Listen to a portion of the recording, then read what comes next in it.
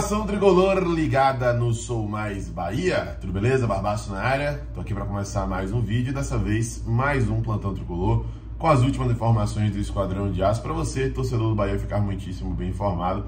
Plantão direto de Recife, Pernambuco, onde na segunda-feira o Bahia enfrenta a equipe do Esporte pelo Campeonato Brasileiro da Série B, jogo muito importante que vai acontecer na Ilha do Retiro. Você que está chegando agora já dá aquela moral vai dar aquela força pra gente. A gente está em outro estádio cobrindo o esquadrão de perto. Então deixa o seu like aí, se inscreve, ativa o sino, são três conteúdos diários, geralmente 7, 12, 18 horas, e claro, compartilha com geral para dar aquela moral pra gente. E quem ainda não fez a sua fezinha lá no XBET, Vitor, tá o quê? Ah, tá vacilando, meu irmão. É dia de poder fazer sua fezinha de apostar Final na Final de semana cheio de jogos aí pra galera apostar no Brasil e fora em um xbet consegue dobrar o seu primeiro depósito usando o código exclusivo do Sou Mais Bahia, que é o BBMP.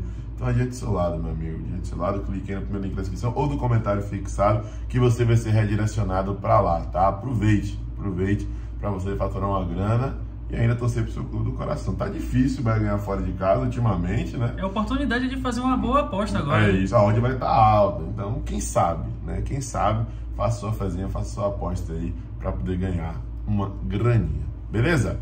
Rapaziada, vamos começar o nosso plantão hoje falando sobre divisões de base.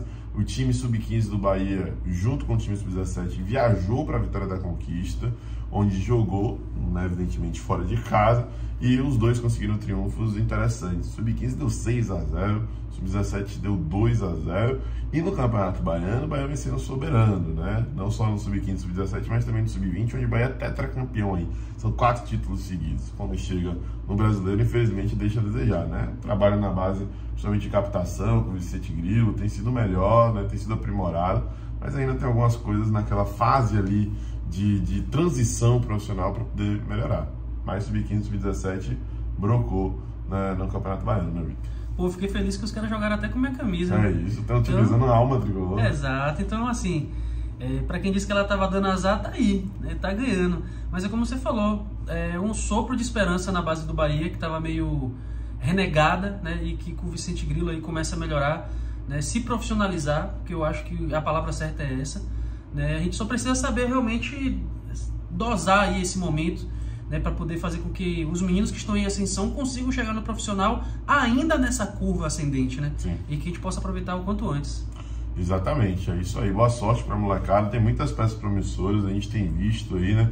Alguns jogadores se destacando ainda muito novos. É o caso de Roger Gabriel, é o caso de Gabriel, Patrick Veronda, entre outros, com 15, 16, 17, 18 anos próprio André, né, já é uma realidade do time profissional do Bahia com 18 anos de idade. Contrato renovado. Contrato renovado até 2027, então tomara que siga nessa linha. Com jogadores com a alma tricolor, né, com DNA tricolor, formados aqui, não só aqueles atletas contratados por conta de uma oportunidade que surge. É evidentemente que se surge uma oportunidade boa, tem que aproveitar. Mas a, a base, a estrutura das divisões de base tem que ser da molecada formada aqui desde novo é, sendo preparada e seguindo todo o processo para poder render vestindo a camisa do esquadrão. Era o que a torcida pedia, né? Ah, a gente, a gente não precisa ficar importando jogadores de fora, embora isso ainda vá acontecer bastante. Sim. Né? E ainda mais se o Bahia se concretizar com a SAF, enfim, a gente sabe que essa captação tende a melhorar e profissionalizar cada vez mais. Então a gente tem que se ambientar com isso, mas também a formação de atletas da nossa base. Né? Então o pontapé foi dado e a gente tem que estar tá perto para poder apreciar o futuro sendo exposto aí aos nossos olhos, né? Exatamente. Vitor, o Bom Rildo tá fazendo falta para você? Pô, tá fazendo, né? Falta um pontinho ali de um pouco mais de qualidade técnica. Irreverente, do drible, é, da batida que vai dentro, apesar de Jacaré fazer isso com alguma dificuldade, mas está procurando fazer. É o cara da iniciativa. Esforçado. Esforçado, a gente elogia isso, apesar das né, limitações técnicas e tudo mais.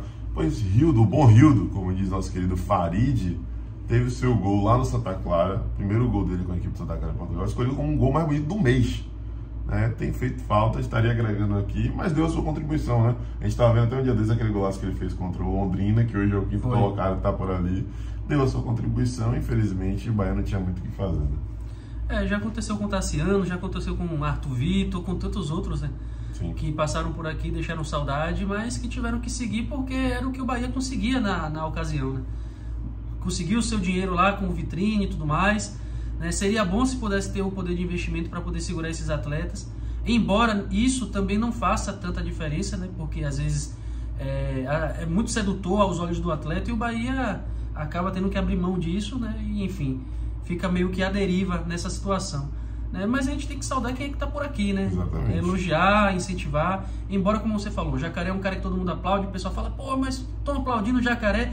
Não é pelo jogador, é, é, pela situação do time. A gente sabe que é, o que vem da arquibancada agrega demais dentro de campo. Então, quando a gente grita, quando a gente faz essas extravagâncias, essas maluquices, é pensando no Bahia, não é pensando no jogador. Então, se o cara se sente motivado, e é isso que a gente está querendo, jogadores de reverência, motivação, é para isso que a gente grita às vezes e faz essa brincadeira, nessa irreverência, que acaba às vezes passando é, como sendo uma coisa de maluco, de Sim. torcedor né, louco, mas enfim, faz parte do, Tudo é festa, né? É melhor do que ter amargura. Então é. vamos que vamos fazendo a nossa parte.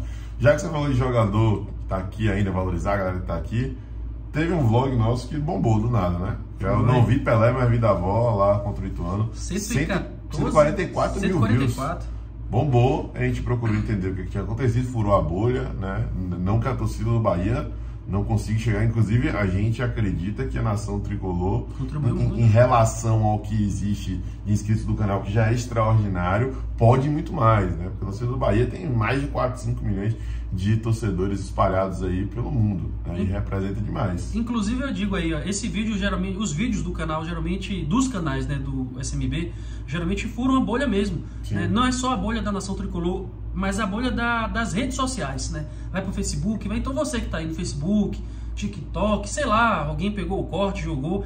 É, se você puder contribuir, vir para cá, para o canal no YouTube, baixar o aplicativo oficial, se inscrever, ativar as notificações todas e deixar o like e os comentários por aqui, é muito melhor. Porque a gente vem trazendo cada vez mais a população, né, a nossa comunidade para cá e fortalecendo a marca do Bahia através do Sou Mais Bahia dentro do próprio YouTube. Né? Exatamente. E aí, aproveitando isso aí, a gente reparou né, que furou a bolha e chegou lá em São Paulo, especificamente na torcida do Corinthians, porque a ênfase tinha sido dada para Davó, um jogador hoje que pertence à equipe do Corinthians, o próprio ex-presidente do Corinthians, né, o simbólico aí, André Sanches, falou de interesse do Grupo City, né, agora com ele no Bahia e o Grupo City chegando, a tendência é que esse interesse aumente, e a gente viu alguns comentários de torcedores do Corinthians, eu até peguei um, vou dar até um abraço aí e agradecer pela moral, pelo prestígio, do Sérgio Luiz Floriano Barbosa, torcedor do Corinthians, botou, tá na hora do Corinthians vender esse Davó, fazer algum dinheiro com esse cara, acho que isso vai acabar acontecendo, né?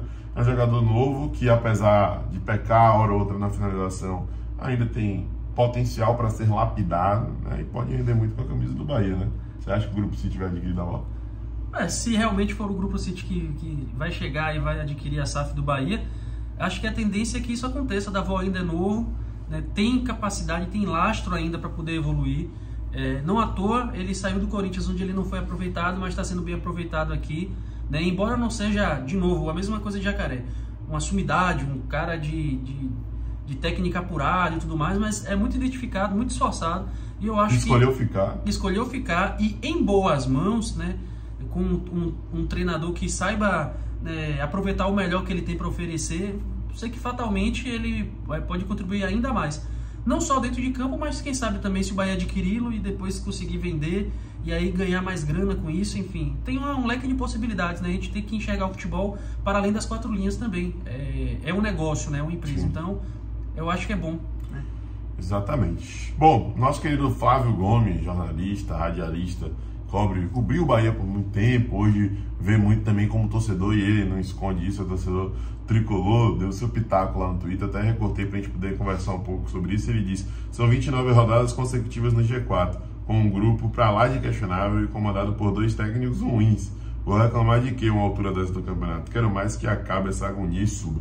E foi isso que eu até falei no Twitter, no dia mesmo do, empate contra o Criciúma. A gente saiu lá do Bela Vista com a sensação assim de dever cumprido né, da nossa parte e, e, e, tranquilos, assim. Não porque o Bahia fez uma partida exuberante, longe demais disso mas porque o Bahia, depois de quatro derrotas seguidas fora, pegou um adversário complicado, que tinha pegado dois times dentro do G4, venceu um e o outro quase venceu, que é o líder do campeonato disparado, que é o Cruzeiro, levou o gol só no finalzinho e a gente conseguiu um empate. E aí eu meio que falei, velho, eu aceitei já, é isso, o time é limitado, o técnico é limitado, e a gente vai com essa galera aí até acabar o campeonato. Então, que a gente se conforme com isso, infelizmente eu falo assim, né? que a gente se conforme com isso e continue buscando um pontinho daqui, outro pontinho dali, e dentro de casa assumindo a briga junto com o time para poder ganhar de todo mundo que passar pela Fonte Nova.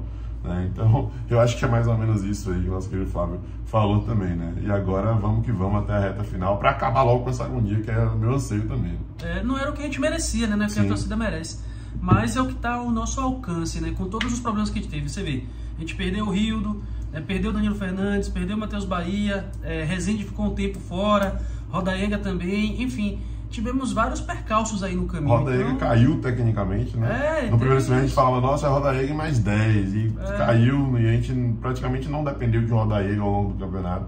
Sim. Então é isso. Então, assim, com todos os, os, problemas que se tem pelo caminho, a gente ainda permanece no G4. É aquele negócio, copo meio cheio, copo meio vazio. Eu prefiro enxergar como um copo meio cheio para não me desesperar tanto, né? A gente sabe que ainda há muito campeonato pra, pela frente. Mas o que foi feito até aqui também não pode ser simplesmente ignorado, jogado Sim. fora. Né? Se a gente vai subir porque é, pela incompetência dos outros ou porque a gente teve alguma competência em algum momento do campeonato, pouco me importa. O que me importa é mesmo aqui no final da competição. Se a gente estiver na Série A, aí, meu amigo, a gente olha para trás e, e, e, esquece tudo de ruim que aconteceu e reescreve uma nova história. Todo ano, quando, quando o ano acaba e vem um novo ano, a, a, projeção e a expectativa do torcedor é que seja muito melhor. Então eu prefiro que essa tempestade passe, ainda é uma tempestade, embora a gente esteja se segurando ali para né, não cair no turbilhão, mas... A galera até sentiu, É, né? até sentiu, mas... mas, enfim, enquanto a gente permanecer no, no, G4, meu amigo, e tiver tudo ok, tiver numa boa, a gente não estiver sofrendo tanto, para mim já valeu a pena demais. Para fechar o nosso plantão do Code você sabe qual foi o último triunfo do Bahia contra o esporte fora de casa? Copa do Nordeste? Não. Não. Foi o, no Brasileirão de 2019. Brasileiro de 2010, brasileiro da Série B de 2010. Gol de. Vai fazer 12 anos. de gol Moraes? de Moraes e de Wander. Um jogo que o Bahia. De Wander não, Diego. Diego Correia, lateral esquerdo. Assistência de Mendes. o Bahia tava com o time quase todo reserva, mescladaço. Eu mesmo acompanhei esse jogo meio descrente. Ia do retiro, lot, do retiro lotado. O Bahia fez o gol logo no comecinho. O Sport empatou e depois uma jogadaça de Wander que toca para Moraes. Moraes conclui. E o setor visitante lá na Ilha do Retiro tava lotado de torcedores tricolores. E é nessa vibração, nessa vibe que a gente vai para mais esse jogo, para poder quebrar esse tabu negativo, porque por 12 anos aí praticamente sem ganhar fora de casa contra o esporte é complicado, né? Com todo respeito ao esporte, né? Falando por parte do Bahia, já deveria ter vencido outras oportunidades e acabou não acontecendo, né? Tomara que esse tabu seja quebrado, tá? Galera, é isso. Este foi o nosso plantão do de hoje. Se você gostou, deixa seu like aí pra fortalecer, se inscreve, ativa o sino e compartilha com geral pra dar aquela moral pra gente. Tamo junto, até a próxima. Eu sou mais Bahia, eu sou mais do Nordeste. E você?